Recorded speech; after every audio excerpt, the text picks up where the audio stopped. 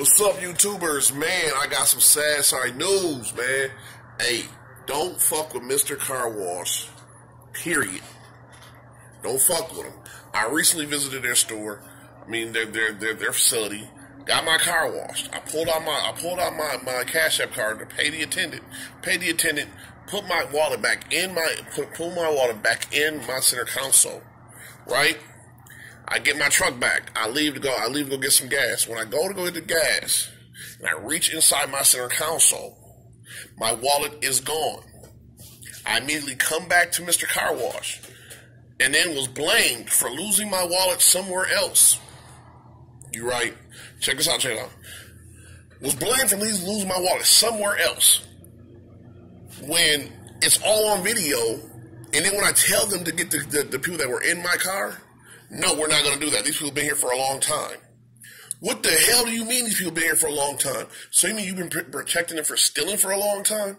Because they didn't bother to pull the people over from the line. They didn't bother to do nothing.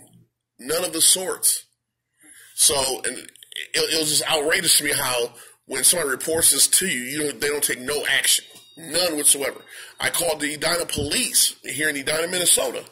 They came to, to, to, to Mr. Car Wash. The manager boldly tells them, We don't believe he got his wallet stolen from us. How the fuck do you think? I, why, why would I come back to you? I'm a grown ass man. Why would I come back to you saying my wallet got stolen at your place? But then immediately you say you don't believe you must, be, that your people stole my wallet, and that's just golden. Like like your your motherfucking word just means a lot.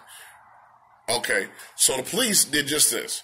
They took a report and said I was making things hectic at the car wash. No, motherfucker, I didn't make nothing hectic.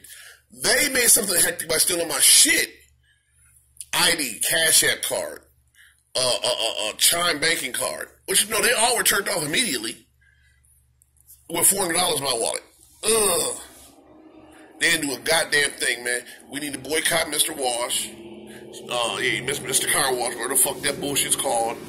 And then one thing I did notice about that place, there was no blacks working in it. And it was still there was a deep disrespect for black people.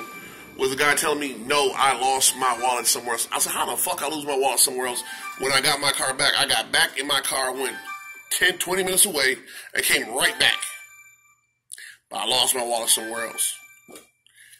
Fuck Mr. Car Wash. Hey, y'all, black people do not spend your money with them people, man.